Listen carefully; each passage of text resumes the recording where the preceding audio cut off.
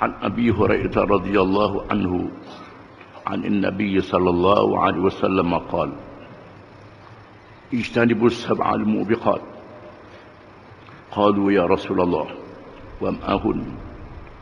قال الشرك بالله والسحر وقتل النفس التي حرم الله إلا بالحق وأكل الربا وأكل مال اليتيم والتولي يوم الزحف وقذف المحصنات المؤمنات الغافلات رواه البخاري Maksudnya dari Abi Hurairah radhiyallahu anhu dari Nabi sallallahu alaihi wasallam. Sabdanya, jauhlah kamu daripada tujuh dosa yang besar yang membinasakan. Lalu mereka bertanya wahai Rasulullah, apakah apa apakah dia? Sabda Rasulullah sallallahu alaihi wasallam iaitulah syirik terhadap Allah, sihir, membunuh nyawa yang diharamkan oleh Allah, melainkan dengan sebenar, memakan riba, memakan harta anak yatim, berpaling melarikan diri ketika menghadapi musuh di medan perang, dan menuduh perempuan yang beriman yang tidak bersalah dengan tuduhan zina.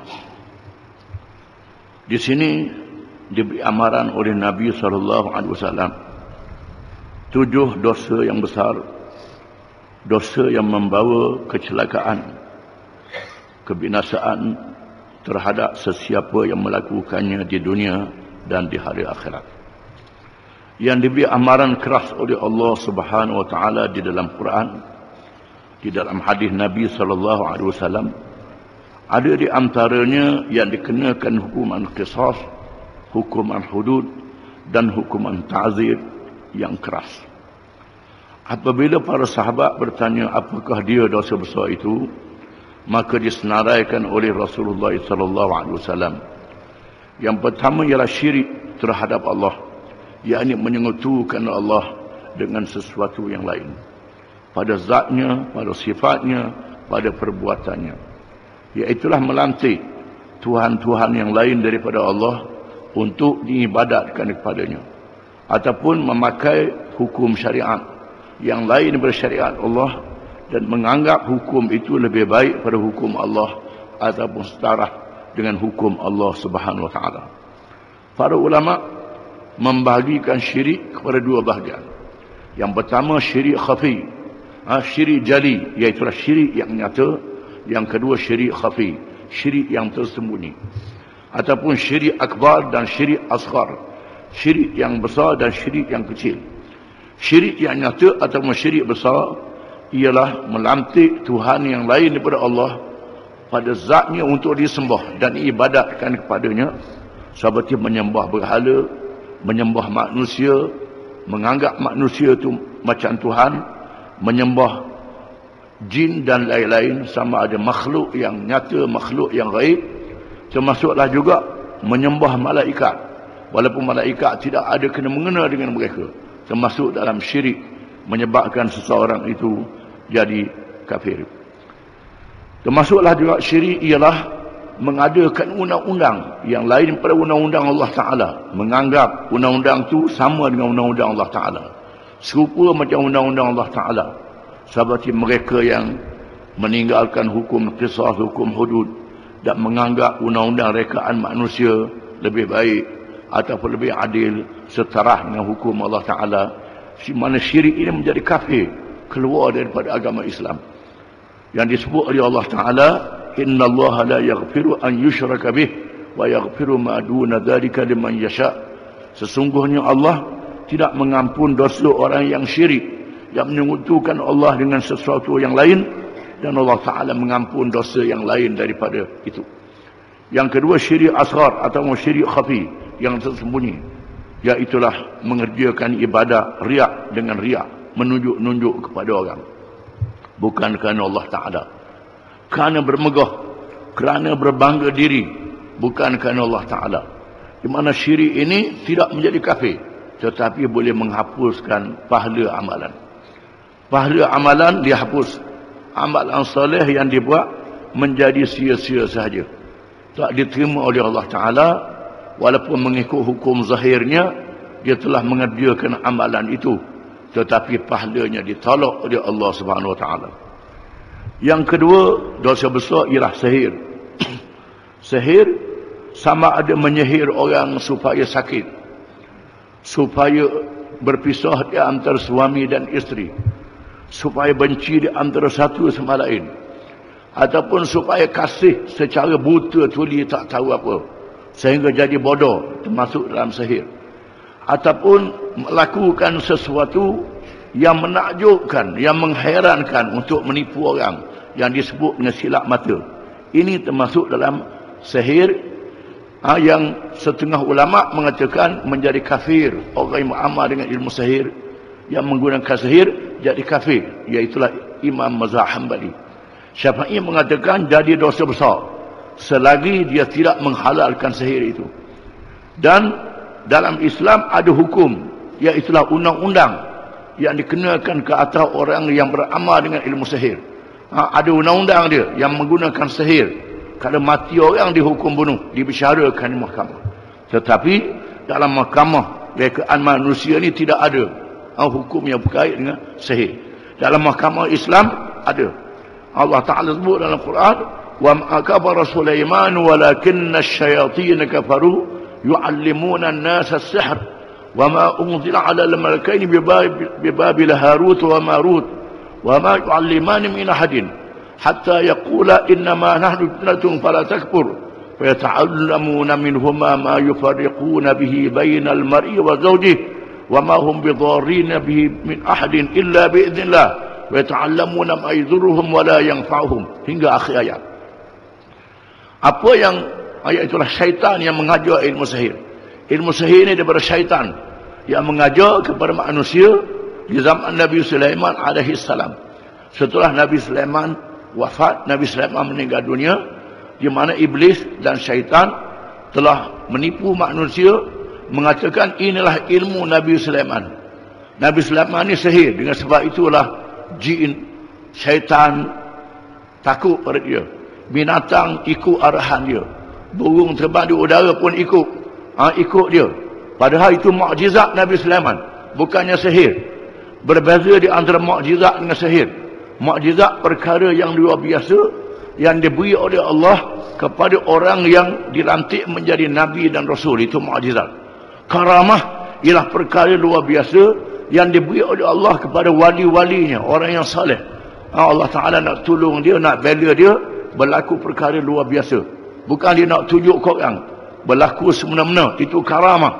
Ma'unah pertolongan Allah. Orang yang terdesak Allah Ta'ala tolong. Dengan cara luar biasa. Ha, mereka yang ha, jatuh dalam air. Ha, di lautan. Tak tahu berenang. Allah Ta'ala selamat. Dengan cara luar biasa. Itu bukan sihir.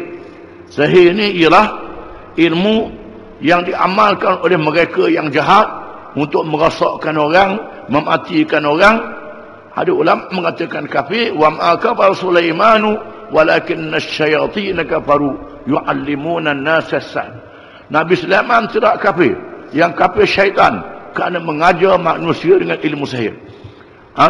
Ayat ini mengatakan kafir. Zahir ayat ini.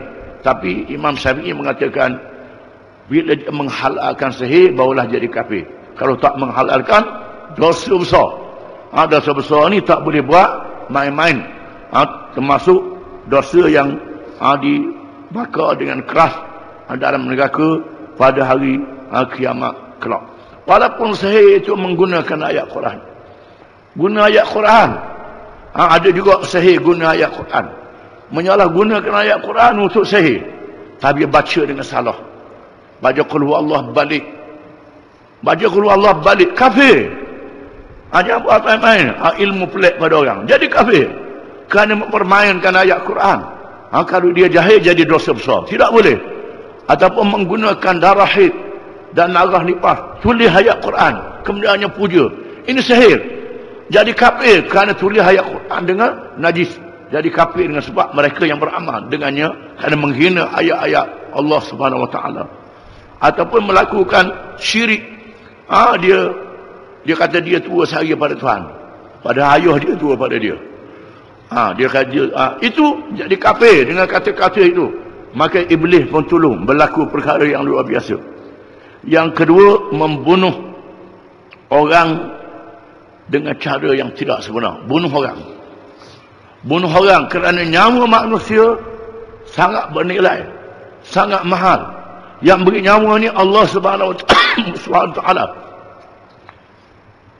Hadis lain tak boleh buat nyawa. Nyawa daripada Allah Ta'ala sangat besar. Mereka yang membunuh orang. Disebut dalam Quran. Allah Ta'ala nyatakan berkaum Bani Israel. Annahu ma'qatala nafsan bighairi nafsin. Faka'annama qatala nasa jami'a. Wa man ahyaha. Faka'annama ahya nasa jami'a. Allah Ta'ala nyatakan berkaum Bani Israel. Sesiapa yang membunuh satu satu nyawa. Seolah-olah dia membunuh nyawa seluruhnya. Sesiapa yang menyelamatkan satu nyawa, seolah-olah dia menyelamatkan nyawa seluruhnya. Bila dia bunuh seorang, dia bunuh anak yang lahir daripadanya. Cucu cici yang lahir daripadanya. Zuriat yang lahir daripadanya. Di antara zuriat ini, ada yang beribadat pada Allah Ta'ala. Ada yang berjihad fisabilillah. Yang mengerjakan amal yang salih. Dengan sebab dia bunuh, tak jadi mereka yang baik yang nak dilahirkan oleh Allah Ta'ala. Dengan sebab itu, bunuh orang dosa yang sangat besar. Kecuali dengan hak yang sebenar. Kerana dia murtad. Keluar daripada agama Islam. Setelah dia beri amaran, puas hati beri amaran, dia murtad juga. Maka dijatuhkan hukuman bunuh. Itu sabit dengan hadis Nabi SAW. Ataupun hukuman qisas. Kerana dia bunuh orang. Maka dibunuh balas. Kecuali kerana keluarga ataupun wali dia mengampunkan ditukar dengan diat. Ataupun diat tu dimaafkan juga. Itu hak keluarga dalam perkara ini. Ataupun mereka yang sudah berkahwin yang berzina ha, sabit dengan empat orang saksi atau ikrar yang nyata. Ataupun mereka yang menentang kerajaan Islam yang sah kerajaan Islam yang adil kerajaan Islam yang melaksanakan hukum Allah dengan betul. Ha, bila ada satu kumpulan yang menentang kerajaan Islam yang adil, kerajaan Islam kena panggil dia. Tanya dia, mengapa kamu lawan? Ha, kena dengar hujah dia. Setelah dinyatakan hujah dia, hujah dia betul. Maka kerajaan wajib kena ikut dia. Kerajaan wajib kena ikut dia kalau dia betul. Kerajaan tak betul. Tetapi dia tak boleh lawan dengan senjata. Salah. Salah, tak boleh. Ha? Kalau zalim, kena sabar. Kecuali kalau kerajaan tu murtad. Itu lain cerita yang tidak membawa fitnah yang besar. Kalau bawa fitnah yang besar, tidak boleh. Merosakkan agama lebih teruk lagi bila dia angkat senjata. Itu tidak boleh. Dengan batah-batah yang terang oleh ulama dengan jelas. Bila nyata dia mengangkat senjata menentang kerajaan yang melaksanakan syariat Islam dengan adil dan dia salah. Kerajaan boleh bunuh dia. Boleh bunuh dia dan dia mati masuk neraka.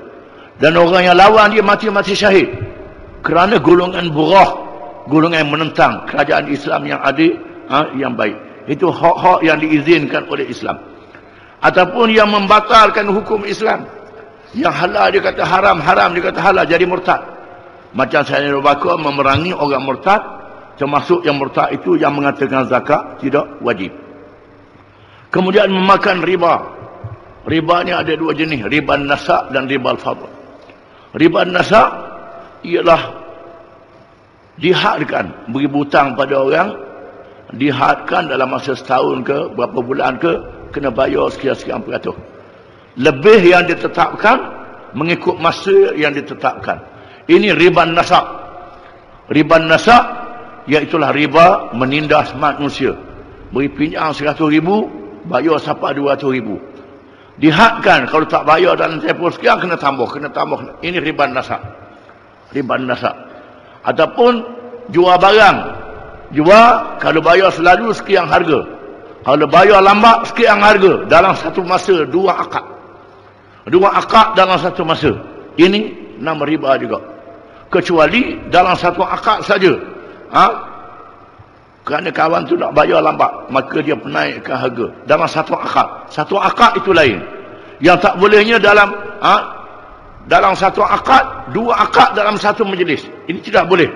Ha, kalau awak bayar kalau awak bayar selalu sekian harga. Kalau bayar setahun sekian harga. Ini termasuk dalam riba. Riba nasa yang tidak ada khilaf di kalangan para ulama. Yang kedua riba al-fadl. Riba al-fadl ni biasanya orang kampung. Zaman dulu banyak. Butang berah. Butang berah bayar dengan berah juga. Setelah beberapa lama masa. Ha, tempoh masa. Ha, kerana kedua kahwin, beri hutang berah. Ha, lepas tu bayar bila kawan ada kedua kahwin pula. Itu riba yang diharamkan oleh syarak. Kecuali dalam satu majlis. Satu majlis, ha, kawan ni berah jenis ni, ha, berah ni tukar. Berah dengan berah. Dalam satu majlis. Mah dengan mah, sama juga. Daging dengan daging, sama juga. Garam dengan garam sama juga. Ya itulah jual benda dengan benda dalam masa yang berbeza. Itu termasuk dalam riba yang diharamkan yang termasuk dalam dosa besar. Dan hari ini ternyata riba menjadi sebab kejatuhan ekonomi manusia kejatuhan ekonomi dunia. Disebut dalam hadis Isra dan Mi'raj orang makan riba ni laksana berenang dalam darah dilontar batu ke dalam mulutnya memakan harta anak yatim. Anak yatim ialah anak yang kematian bapanya yang belum balik. Dia tak balik lagi. Ayah dia mati, tak ada penjaga. Itu anak yatim. Kalau orang tua dah ayah mati dah yatim. Ha, dah muda dah lepas, lepas dia 15 tahun. Ha, ayah dia mati itu bukan yatim. Ha, yatim ni ialah yang belum balik, ayah dia mati bukan ibu mati. Ulama mengatakan binatang ibu mati baru jadi yatim. Burung ibu dengan ha, hak bapak dia mati baru yatim. Manusia ayah dia mati baru jadi yatim. Ha, di mana memelihara anak yatim pahalanya besar. Disebut dalam hadis an awakafirul yatim kahataini. Nabi sebut dalam hadis ana wakafirul yatim kahataini aku dan orang jaga anak yatim pada hari kiamat macam ini macam jari tengah dan jari telunjuk. Dekatnya orang ini dengan aku pada hari kiamat. Tetapi kalau menyalahgunakan harta anak yatim ambil peluang makan harta anak yatim itu dosa yang besar. Kecuali kerana dia miskin dia jaga anak yatim tak ada orang nak jaga dia pula miskin. Dia makan dengan qadar keperluan bagi dia. Kerana dia tak akan hidup itu diizinkan oleh syarak. Jangan ambil peluang. Ambil peluang salah. Tak boleh. Kemudian melarikan diri di medan perang menentang musuh Islam. Berperang dengan orang kafir. Perang dengan orang kafir lari takut. Padahal Allah Ta'ala menjanjikan orang yang mati berperang dengan orang kafir ni mati syahid.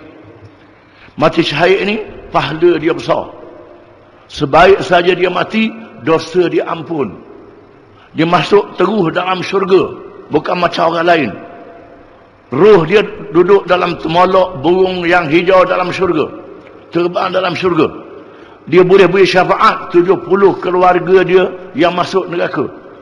Dikahwin dengan 70 bidadari. Dan kelebihan-kelebihan yang lain. Maka sahabat-sahabat Nabi berebut nak mati di medan perang. Kena percaya mati di medan perang kerana menegakkan Islam. Memenangkan Islam, mati syahid. Pahalanya sangat besar di sisi Allah Subhanahu wa taala. Tiba-tiba lari. Lari takut. Kecuali lari kerana mutahayyizan ila fi'atin. Am mutahayyizan li qitalin. Ha? kerana taktik peperangan. Dia berun, dia berundur bukan lari kerana nak helah musuh. Nak ambil nak ambil tempat yang kuat di bukit, dia berundur kerana nak lawan di tempat yang sedap menghadapi musuh. Atau bukan dia nak bergabung dengan satu pasukan yang lain. Oleh kerana musuh ramah sangat maka dia nak bergabung dengan pasukan yang lain untuk menentang lagi lepas pada itu kalau masih berundur kerana taktik peperangan itu tidak salah. Ini berundur kerana lari tak boleh lawan orang kafir yang menentang Islam dosa besar ha, termasuk dalam dosa besar dan yang akhirnya menuduh perempuan yang terpelihara daripada zina dengan zina. Perempuan yang beriman, yang tidak bersalah, dituduhnya berzina. Nak tuduh orang, mesti kena ada pak saksi. Kalau tak ada pak saksi, tak boleh nak tuduh orang. Tidak boleh. Salah. Kalau tidak, kena hukum hudud. Disebab sebanyak 80 kali. Terhadap orang yang menuduh zina dengan tidak ada empat saksi. Apalagi orang tu saja nak dipitnahkan Nak dipenahkan, sedap cakap. Ataupun dengar berita daripada orang, sebuah pulak termasuk dalam dosa besar. Dan kena bertaubat, kena beristighfar. Ha, dosa yang sangat besar di sisi Allah SWT. Dan orang yang buat kerja dosa besar ni, fasik. Fasik ni tak boleh jadi saksi di mahkamah. Kalau dia beritahu bulan Ramadan ataupun nak raya dia dia beritahu nampak anak bulan, tak boleh terima cakap dia. Ha tu pasal ni berat. Cakap dia tak boleh diterima. Kalau dia kata nampak anak bulan, tak boleh puasa esok. Tak boleh raya kerana dia fasik. Ha itulah hukuman terhadap mereka yang melakukan dosa-dosa yang besar. Wallahu a'lam.